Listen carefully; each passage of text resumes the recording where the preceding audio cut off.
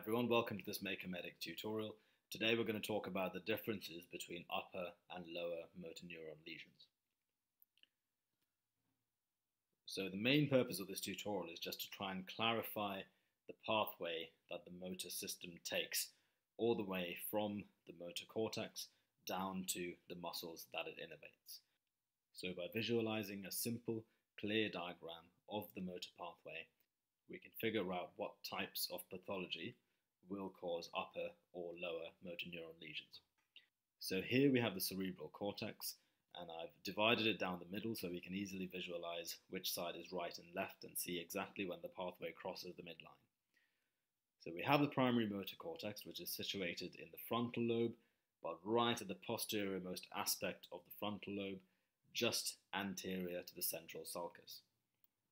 Then further down, at the bottom of the brainstem, we have the medulla, and within the medulla, we have the pyramids. And if we keep going down, we have the spinal cord, and from the spinal cord will emerge the peripheral nerves that go on to innervate our muscles.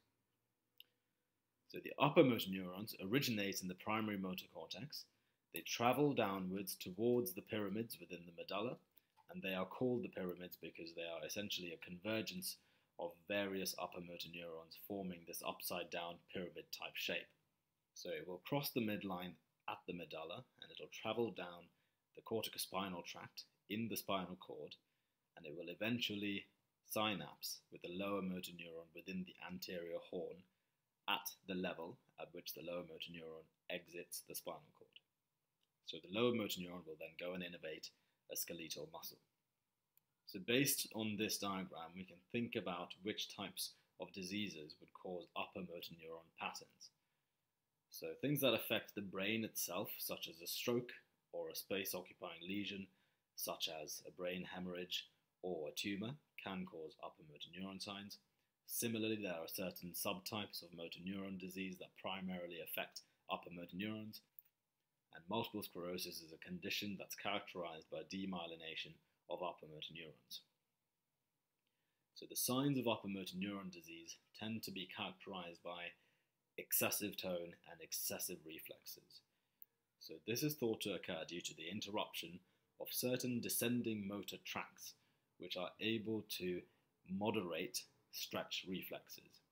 So if we sever these tracts, it leads to a massive increase in the amplitude of our reflexes and that's why Patients with diseases affecting upper motor neurons will have increased tone, increased reflexes, and a few other signs such as upgoing plantars and pronator drift.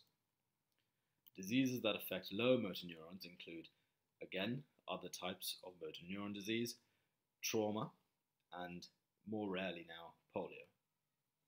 The manifestations are sort of the opposite, so you get reduced tone, reduced reflexes, you get marked muscle atrophy, and you also get unregulated erratic contraction of bundles of muscle fibers called fasciculations.